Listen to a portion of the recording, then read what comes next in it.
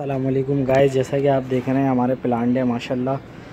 ये एलोवेरा है और ये चमेली है और माशाल्लाह ये एक नया पौधा है। आप इसके फूल देखें, कितने अच्छे खिल रहे हैं। ये माशाल्लाह सारे बेहतरीन हरे भरे पौधे हैं। ये देखें आप।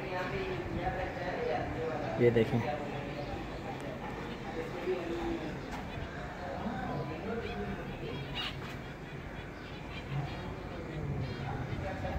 माशाल्लाह देखें, इसमें फूल आए हैं गाइस ये एलोवेरा है और ये चमेली है। ये देखें आप।